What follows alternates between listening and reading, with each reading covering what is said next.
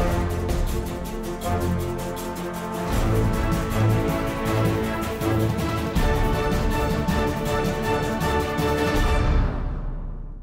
Добрый вечер, уважаемые телезрители. В эфире программа «Первая студия». Итак, мы начинаем свою работу. Более 6 триллионов рублей ежегодно зарабатывает Федеральная таможенная служба для нашей страны. И вот буквально через несколько дней, 25 октября, мы будем отмечать профессиональный праздник этой службы. Ну а здесь, в студии, поздравления а, принимает Батыров Рустам, официальный представитель а, дагестанской таможни. Рустам Магомедхалидович, добрый вечер. Мы вас поздравляем а, с наступающим а, профессиональным праздником. Ну, на самом деле, очень впечатляющие цифры. 6 триллионов рублей. Да, это огромная цифра. О том, сколько зарабатывает там дагестанская таможня, мы узнаем чуть-чуть позже. Но сначала расскажите, пожалуйста, как устроена наша таможня и какие все-таки основные задачи вы выполняете, пожалуйста. Спасибо вам за поздравления в преддверии э, нашего профессионального праздника, который наступит 25 октября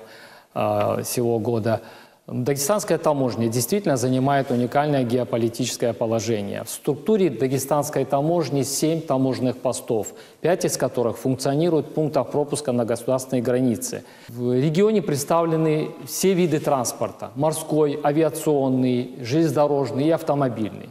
Э, среди основных задач, стоящих перед дагестанской таможней, это модернизация э, таможенного администрирования – осуществление таможенного контроля после выпуска товаров, содействие э, внешнеэкономической деятельности, борьба с контрабандой. Скажите, пожалуйста, а планирует ли дагестанская таможня модернизировать все свои семь пунктов и набрать необходимое количество специалистов для того, чтобы оперативно, быстро а, на самом деле проводить все эти огромные грузы, которые пойдут по транспортному коридору север-юг?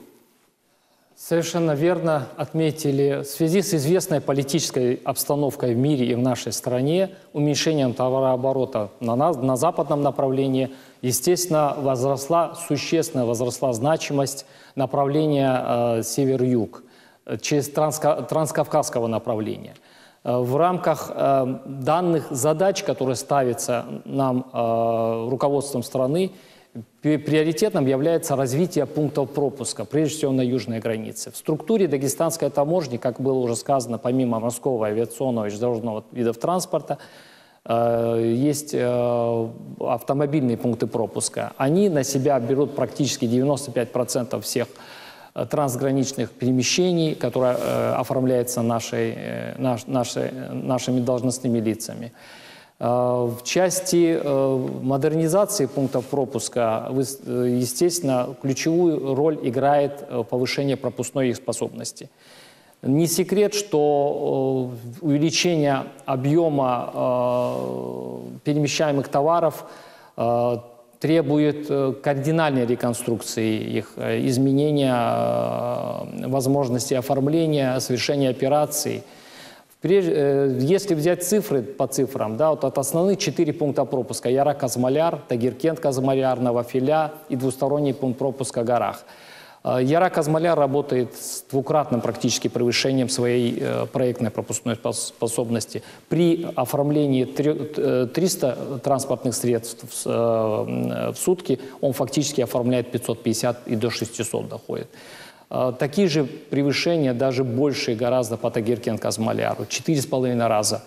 А, ну, получается, правильно да. я задаю этот вопрос, Совершенно поскольку верно, мы, да. мы видели по да. центральным средствам массовой информации, как на западном направлении да, устанавливали и очень быстро а, значит, э, строили дополнительные, дополнительные э, мощности для Линии того, контроля. чтобы увеличивать пропускную возможность таможни. Скажите, пожалуйста, планируете ли вы это сделать э, ну, на Ярак-Казмаляр в том числе?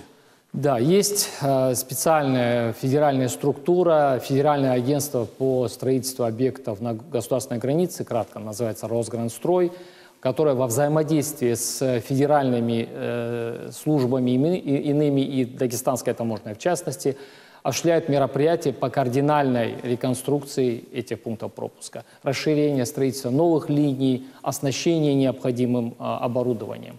Планируется, вот первая ну, как бы, реконструкция, основная реконструкция по Яро-Казмаляру началась в 2021 году. И сейчас значит, находится в стадии ее строительства. строительства да. Планируется увеличение проектно, э, удвоение фактически, даже не удвоение, э, от текущей пропускной способности и от плановой практически в 4 раза, свыше 1460 транспортных средств. Это с плановых э, 300, которые мы имеем сейчас. Такая же, э, так, такие же объемы реконструкции и э, мероприятия проводятся намеченные по Тагиркент, Казамаляру и Новофиля. Там тоже планируется кардинальное изменение пропускной способности, в частности, по э, Тагеркент-Казмаляру до 2300 свыше, по Новофиля свыше тысячи. Это существенно э, ускорит перемещение товаров, совершение операций и дагестанская таможня, в частности, в рамках э, поставленных задач проводятся соответствующие мероприятия по Ну, я так понимаю, я так понимаю, что власти страны а, синхронизируют эти два процесса. А, процесс строительства а, магистрали, магистрали север-юг, и а, а, тут же, в принципе, и строительство, модернизация ваших пунктов. То есть все будет готово а, к открытию этой магистрали. Как только перережут ленточку, в принципе, и таможня, и граница, и вся инфраструктура, да и сама федеральная трасса, все будет э, завершено и готово одномоментно. Вот мне так э, представляется. Собственно говоря, вы, в общем-то, так э, и сказали. Такая работа и проводится сейчас, и есть промежуточный результат, есть промежуточное решение, которое уже на, на сегодняшний день позволили превысить типовые проектные угу. нормы пропуска. Понятно. Вот вы сказали, что 95% э, товарооборота приходится на автомобильное э, значит, э, движение. А как же наш международный морской торговый порт, которым мы гордимся, который нам нравится? Он является украшением дагестанской столицы. Нам все время обещают, значит, что порт заработает на все 200% и будет приносить республике и стране огромные средства. Пожалуйста. Да, ключевым э, здесь является то, что наш порт, морской торговый порт Махачкалы, является единственным незамерзающим портом в Российской Федерации, самым южным портом. Э, он является ключевым э, звеном транскаспийской ветви э, транспортного коридора север-юг. Мы про значимость э, этого направления уже говорили, и одно а, в, раз... в программах развития и в программах а, э, дальносрочной перспективе представляет э, собой ключевое направление для развития торговой связи угу. для, для всей страны, наряду с дальневосточным. Значит, с учетом того, что морской торговый порт э, текущем его состоянии не, спо, не может переваливать то количество грузов, которое э, необходимо, э, государством были приняты, предприняты ряд шагов. В частности, Росморпорт еще с 2016 года подготовил план, проект реконструкции морского порта с горизонтом планирования до 30 года, который пред, пред, э, включает в себя формирование новой причальной территории – формирование там контейнерных площадок, РОРО, э, ЖД, э, железнодорожных и автомобильных РОРО причалов, зерновых терминалов. То есть там план достаточно большой, вплоть до пассажирского угу. направления формирования. Значит, здесь уже предпринимаются определенные шаги. Сейчас уже, в этом году были приняты решения о вводе в эксплуатацию незаконченных объектов реконструкции. Есть соответствующее решение правительства Российской Федерации. Эти объекты реконструкции, переданные порту, э, должны позволить увеличить объем товарооборота в разы. Э, так, например, указом президента в начале года было образовано ООО «Север-Юг», специально, которое будет заниматься этими вопросами логистики, мультимодальных перевозок. И э, задачи ставятся достаточно серьезные. Если, например, сейчас э, мы едва доходим до полутора миллионов тонн обработки грузов, а, то ставится задача по увеличения объемов до 9 миллионов тонн. Угу. Для этого нужна и соответствующая инфраструктура. Э, и видя темпы реконструкции и внимание со стороны центральных органов власти и регионального правительства – э, видно, что эти задачи, они реальны и, э, и идут к своему Понятно. решению. Рустам Агамед Халилович, а, скажите мне, пожалуйста, вот мне лично ответьте на такой вопрос. Это правда, что морской путь э, является наиболее выгодным с экономической точки зрения для перевозки товаров? То есть самый дешевый э, путь? Он традиционно самый дешевый. Это, самый, это правда, да? Совершенно верно. Э, препятствие здесь э, в том, что нет достаточно большого э, флота, танкерного флота, либо там судов, количество, как в свое время было в Советском Союзе. вот данный, данный вопрос сейчас решается на высоком уровне, и идет строительство, закупка, приобретение этих судов, потому что без судов и оборота не будет.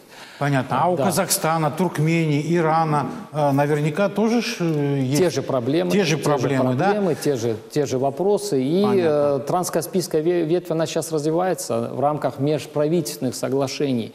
Уже достигнуты определенные результаты в плане формирования этого направления, перевалки, оформления. Ведь это задача а, не одной только страны, а нескольких стран. Которые... То есть, получается, корабли, танкеры тоже будут наши в основном, да?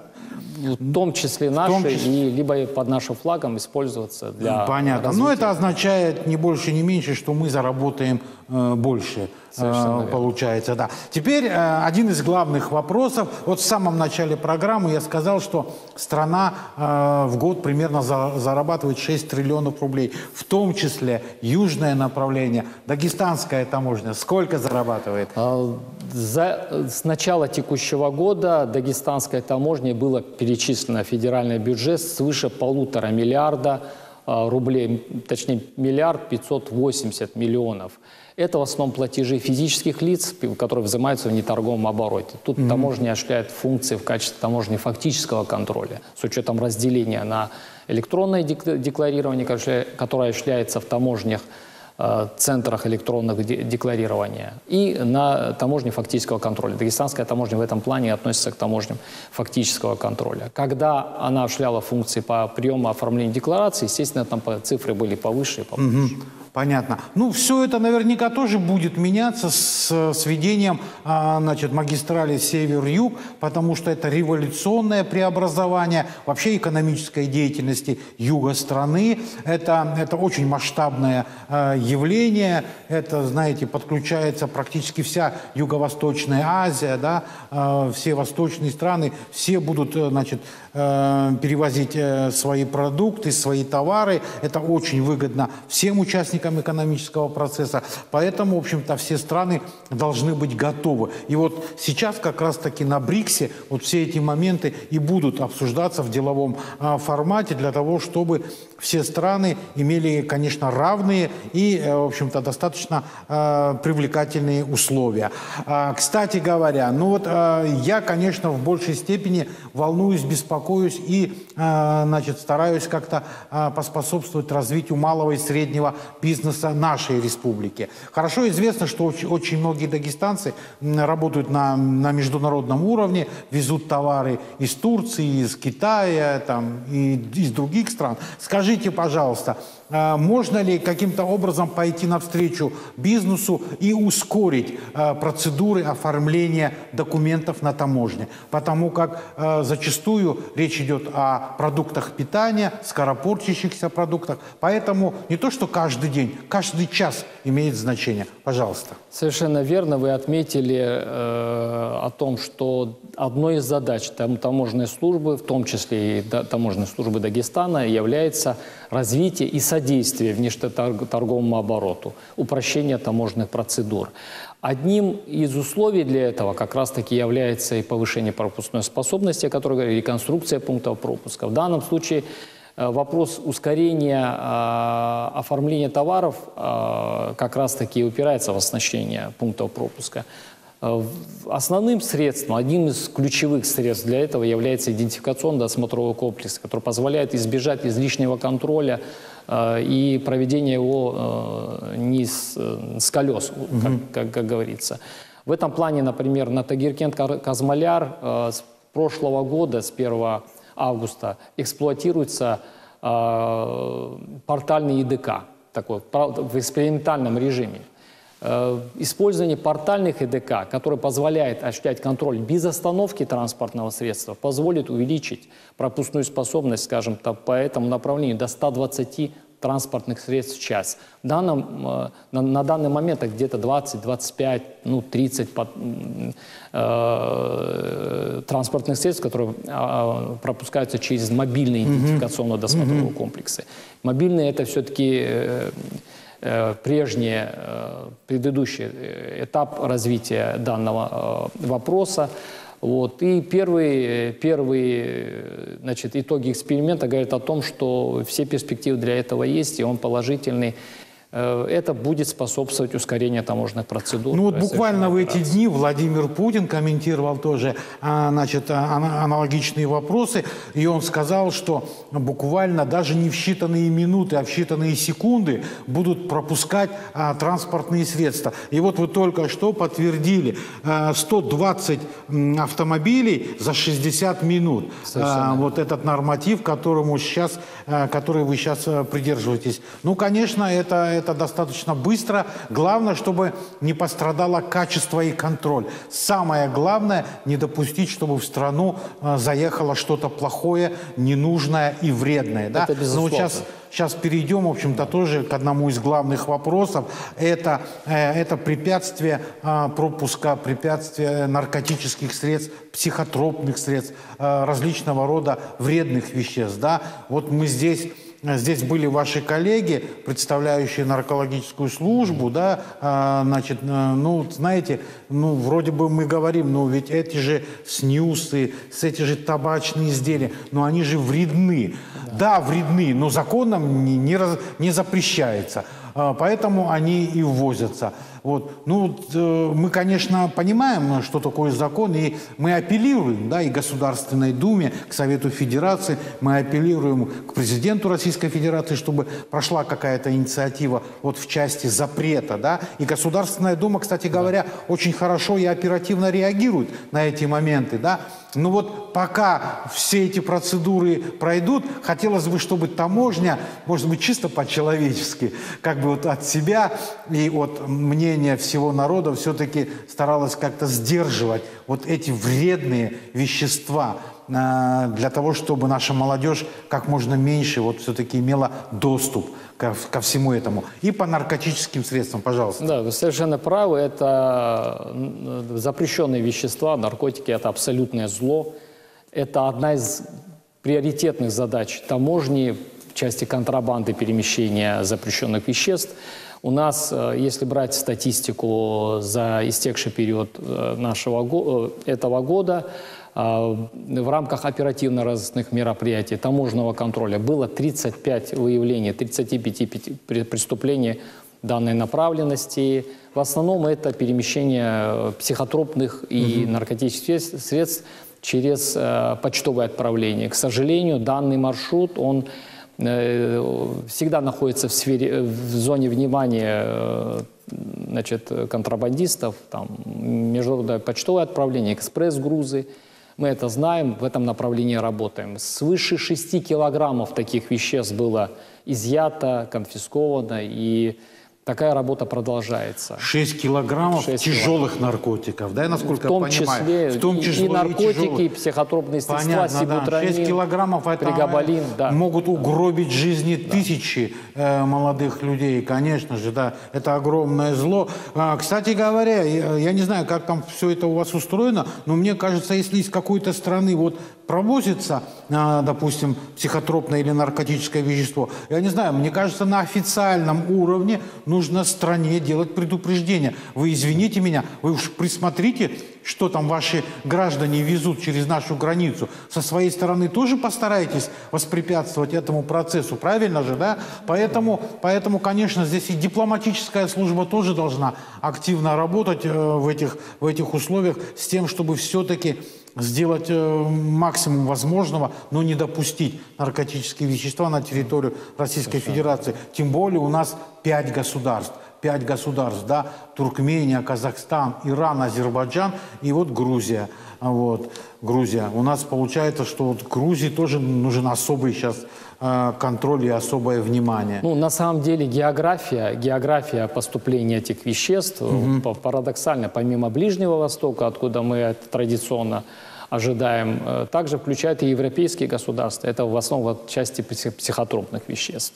Такие факты есть. Работа ведется в рамках международного сотрудничества. Заключены соответствующие межправительственные соглашения. Соглашение по линии таможенных служб, эта работа ведется, она в основном в рамках оперативно-розыскной деятельности. Конечно, конечно. Э, и, и, само собой, она всегда и находилась в свете э, основных направлений нашей деятельности. Угу. А, Рустам Магомедкалинович, ну вот сейчас смотрят люди нашу передачу и наверняка, значит, э, думают о том, ну как же попасть в таможенную службу, да? Каким образом, значит, рекомендовать своего сына или дочь, значит, вот в эту уважаемую службу, поскольку, ну, на самом деле, э, это риторический вопрос, но я уверен, что у вас и льготы, и зарплата, ну, все, в общем-то, э, устроено достаточно хорошо. Э, я посмотрел, вроде есть э, высшие учебные заведения, которые готовят специалистов для вашей службы. Несколько слов, если Да, можно. ну, есть, естественно, есть заведения и в структуре Федеральной таможенной службы, это известное старое учебное заведение, Российская таможенная академия. В Подмосковье, да? В Подмосковье, в Люберцах она располагается, имеет несколько филиалов в регионах страны. Есть также широкий объем много вузов, которые готовят, угу. готовят таких специалистов в рамках специальности по таможенному администрированию, по таможенному делу. Это и наш Дагестанский политехнический университет и, и выпускники этих э, вузов работают в нашей системе. Да, вы совершенно верно также отметили то, что э, у нас идет прием, был прием достаточно большой, связанный с тем, что объем вырос работы. Э, просто увеличением пропускной и способности будет расти. и будет расти. У нас снижается объем по западному направлению, соответственно, трансграничное, транскаспийское направление, в том числе север-юг, активизировалось. Это не просто пропускная способность, это на, надо, естественно, закрывать штатные численности. И угу. такая работа э, проводится, и э, не, не один десяток э, сотрудников был принят э, на работу через...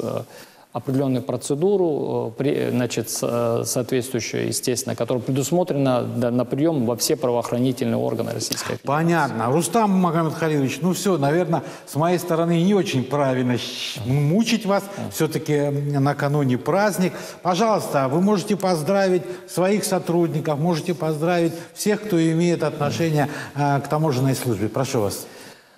Да, конечно, хотелось бы э, от э, лица Дагестанской таможни поздравить всех своих коллег э, с наступлением нашего профессионального праздника, пожелать им сил, усердия на работе по регулированию внешнеторговых отношений, на совершенствование своей работы и развитие в этом направлении.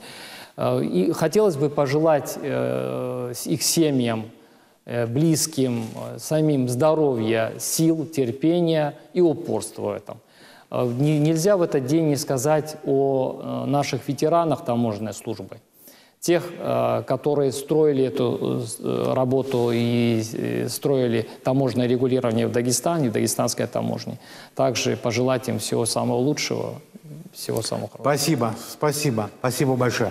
А, уважаемые телезрители, наша передача подошла к концу. Еще раз с удовольствием представлю нашего гостя Батыров Рустам Магомедхалидович, официальный представитель Дагестанской таможни. Вам а, огромное спасибо. Спасибо, спасибо за участие спасибо. в программе. Спасибо и вам, уважаемые телезрители, за ваше внимание. Всего доброго. До свидания.